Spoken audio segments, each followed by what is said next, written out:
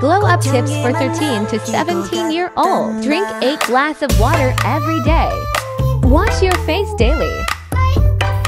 Use cleanser based on your skin type. Don't forget to moisturize. Exfoliate once a week. Avoid touching your face. Choose the right product for your skin. Get some sunlight. Brush your teeth and lips. Get 8 to 12 hours of sleep. Exercise daily. Try new things every day. Thanks for watching. Don't forget to like and subscribe.